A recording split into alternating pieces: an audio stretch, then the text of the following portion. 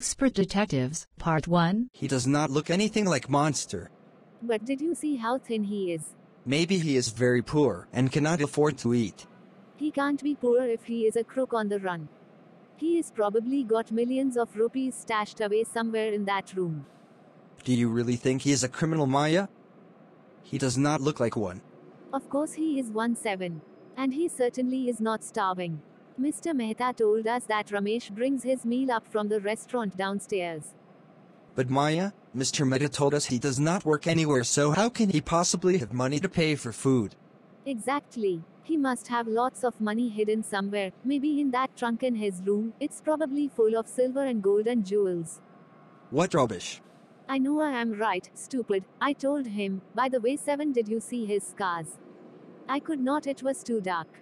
But I bet he got him during the shootout with the police or something. Mummy told us quite clearly they were burnt scars. Perhaps the police had to set his house on fire to force him out. On Monday following Mummy's birthday, Seven went along with her to the clinic at Girgaon. As I was spending the evening with school friend, I had been to see Mr. Nath and I felt most annoyed that I had not been there. I am very upset about Mr. Nath Grant's appearance and sure that he was starving. He told me that he had knocked loudly on Mr. Nath's door that evening. I knocked the door inside opened the door quickly Mr. Nath. Mr. Nath opened the door and asked my brother Seven, Did you lost another marble? My brother say, No, and give a bar of chocolate in his hand. Did you get a chance to pick into the trunk Seven?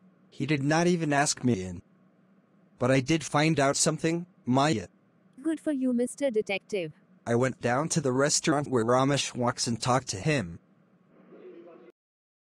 I takes two meals from Mr. Nath every morning and evening, and two cups of tea, one in the morning and one in the afternoon. But I am not very particular about what he eats. It's always the same food, two chapatis, some dal and a vegetable. He pays cash and tips well. Something else. Almost every Sunday, I carries to lunches to Mr. Nath's room, and the same man is within each time. He is tall, fair, stout and wears spectacles. He talks a lot, unlike Mr. Nath who hardly speak. Well done, Nishad. We will have to sort out all the facts like expert detective so that we can track the crook. How you do go on, Maya? How you possibly imagine he is a crook? He looks ordinary. Criminals can look quite ordinary, smarty. Did you see the picture of Hyderabadi housebreaker in the paper yesterday? He looked like any man on the street.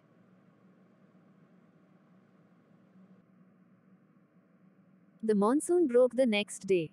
Dark clouds accompanied by blinding flashes of lightning and rolling rolls of thunder brushed with all their fury, flooding the streets with the heavy downpour. School was to have reopened after the summer holidays, but no traffic could move through the flooded roads and there was an unexpected holiday. To be continued. Don't forget to like, share and subscribe to my channel now.